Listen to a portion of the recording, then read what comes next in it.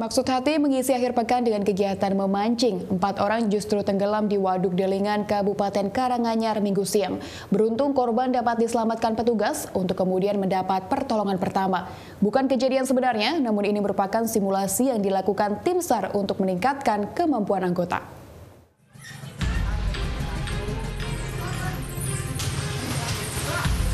Bersiap dan bergegas terjun ke dalam air. Berenang menjemput korban yang terus meminta pertolongan. Dibantu satu perahu karet, tim SAR dengan cepat mengevakuasi satu persatu warga yang tenggelam saat memancing di Waduk Delingan, Kabupaten Karanganyar, Minggu siang. Usai dievakuasi baik oleh tim perenang maupun perahu karet, korban kemudian dibawa ke daratan untuk segera dilakukan pertolongan pertama. Bukan aksi nyata namun aksi tanggap SAR ini merupakan simulasi penyelamatan kecelakaan air. Latihan penyelamatan ini dilakukan untuk meningkatkan kemampuan anggota SAR agar selalu siap menghadapi kondisi darurat sewaktu-waktu.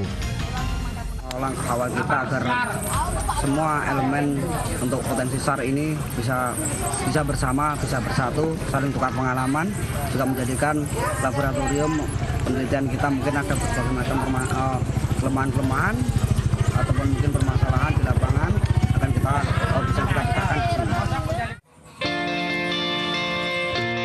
Latihan penyelamatan diikuti 30 peserta dari Karanganyar Emergency, Muhammadiyah Disaster Management Center, serta beberapa relawan.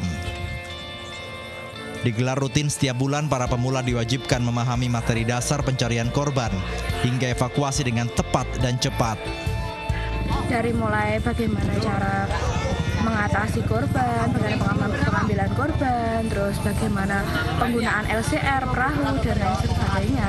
Pokoknya banyak banget manfaatnya.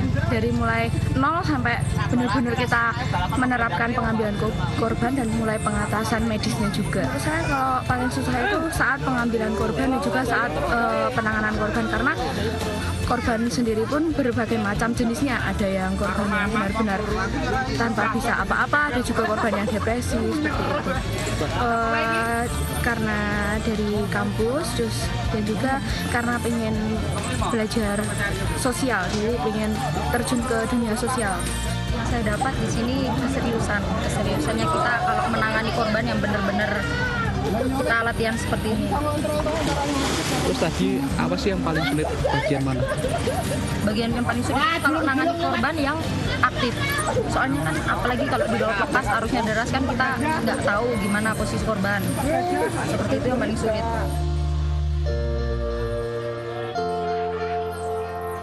Meski potensi kecelakaan air di Kabupaten Karanganyar tidak terlalu tinggi, namun semua unsur SAR dituntut untuk selalu waspada karena mengingat wilayah Karanganyar dilewati jalur Sungai Bengawan Solo. Angga Eka melaporkan untuk NET.